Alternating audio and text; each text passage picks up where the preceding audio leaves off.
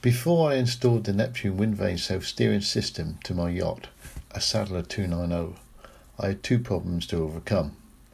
The Sadler has a stern door, and I had an option to simply bolt the Neptune to the door.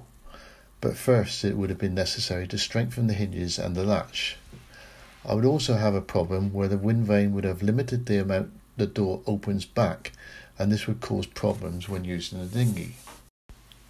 My solution was to design a hinge bracket to mount the Neptune on.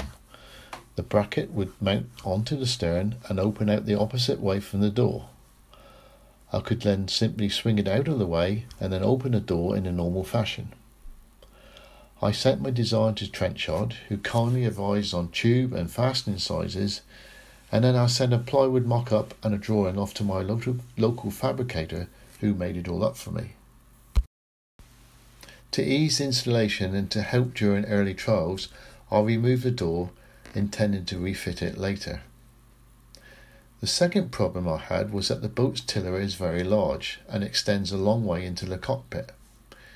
If I installed the Neptune's tiller lines to the tiller in a normal fashion, similar to this photo taken from the website, then the lines would restrict my movement in and around the cockpit, and I wanted to see if I could do something different. I decided to try a cross tiller arrangement fitted at 90 degrees to the main tiller and attach the steering lines directly to this straight from the Neptune.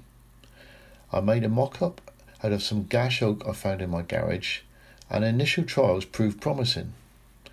Unfortunately the cross tiller got in the way when not using the wind vane, so I racked my brains and came up with this design. This stainless steel tiller attaches to the main tiller by way of two bolts. It has arms that fold away when not in use, and the unit is designed in such a way that it will work in the normal horizontal position, or to allow even more room in the cockpit, it will work equally as well in the vertical position. Due to the geometry, as the tiller swings up to the vertical position, the lines need to shorten, which is why I've installed the two cleats either side of the main tiller. I'm happy to say that it all works perfectly well.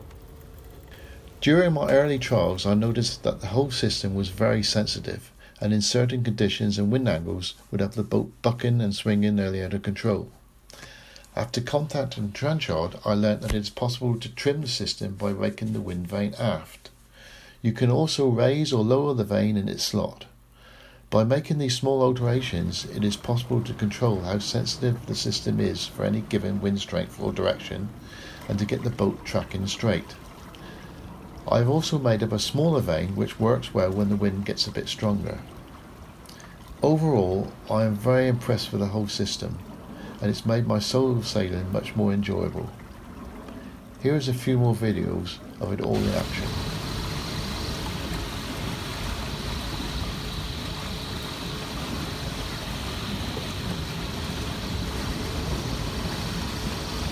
A very gusty wind here she's flying along and because the wind's shifting obviously we're shifting course. But with a smaller wind vane she's working perfectly.